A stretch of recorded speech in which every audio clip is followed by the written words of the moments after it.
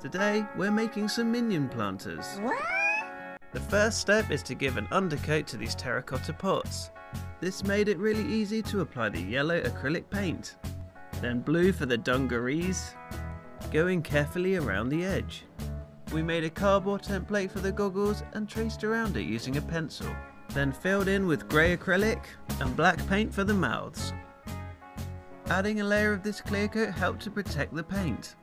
And this electrician's tape worked perfectly for the goggle straps. Then it was time to stick on the googly eyes using a glue gun. And I'm not gonna lie, this had to be the best part. All that was left to do was to pop the plants in place, and we're really pleased with how these turned out. What do you think guys? What design should we try next?